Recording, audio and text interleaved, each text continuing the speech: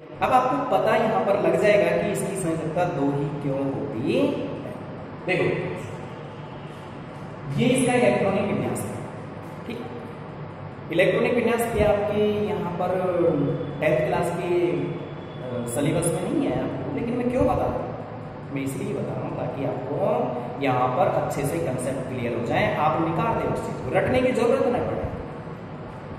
तो बाह्यतम कोष में कितने इलेक्ट्रॉन आ रहे हैं? दो इलेक्ट्रॉन कितने इलेक्ट्रॉन आ रहे हैं? अब इन बाह्यतम कोष में दो इलेक्ट्रॉन निकाले इसकी क्या उपयोगिता है? अब आप ध्यान से समझ लीजिए।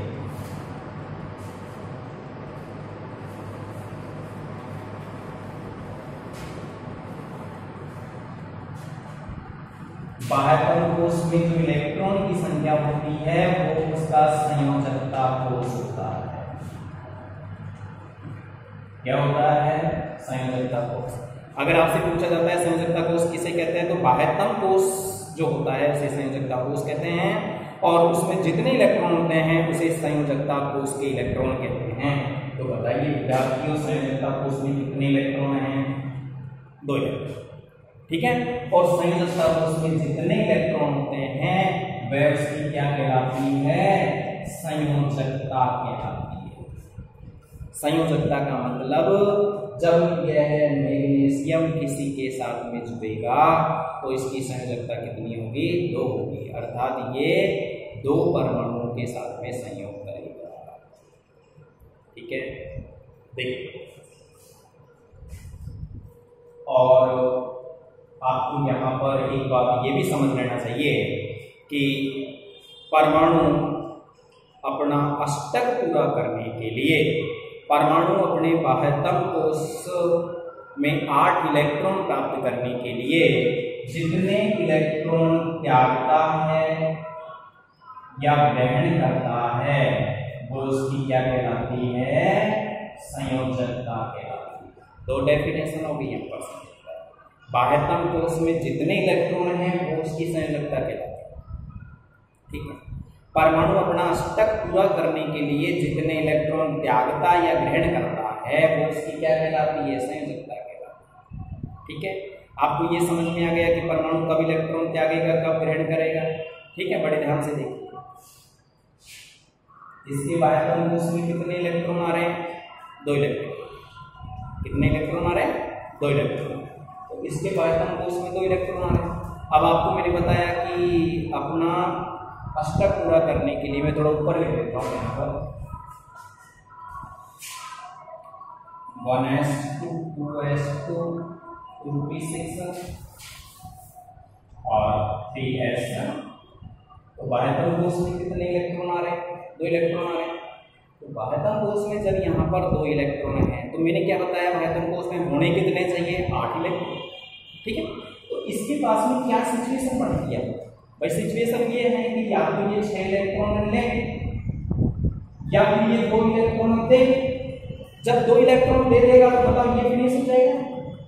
तो ये फिनिश हो जाएगा तो ये बच जाएगा, इसमें कितने इलेक्ट्रॉन आ गए? आठ हो गए। तो बताओ ये छह लेगा या दो देगा? छह लेना आसान है या दो देना आसान है?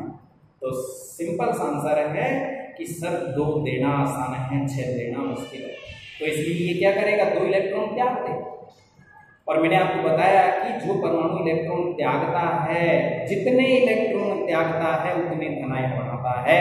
तो देखिए विद्यार्थियों, मैग्नीशियम यहाँ पर कितने इलेक्ट्रॉन त्यागेगा? दो इलेक्ट्रॉन त्यागेगा ठीक है? तो दो इलेक्ट्रॉन त्यागेगा तो यहाँ पर क्या आ जाएगा? दो प्लस आ जाएगा।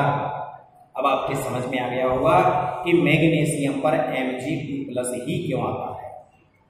ठीक है? अब आपसे पूछा जाता है, एल्यूमिनियम पर कितना प्लस आएगा?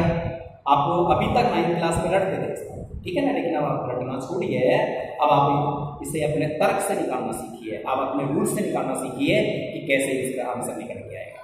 तो देखिए, परमाणु क्रमांक कितना होता है? तेरह होता है।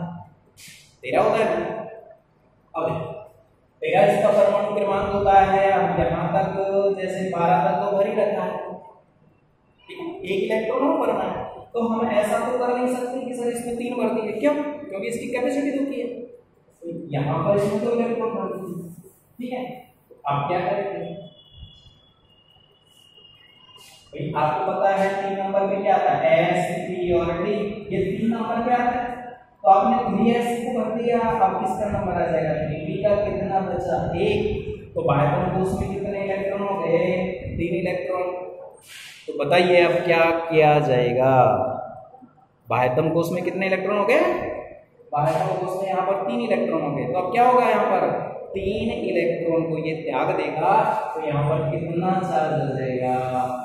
थ्री प्लस बस, समझ में आ रही है? तो इस प्रकार से विद्यार्थियों, आपको इलेक्ट्रॉनिक विन्यास लिखना आना चाहिए।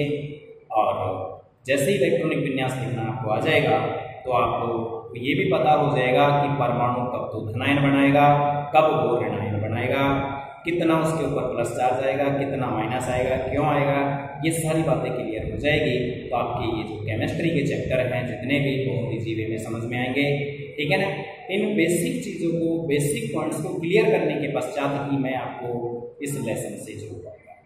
ठीक है? थैंक यू जय हिंद।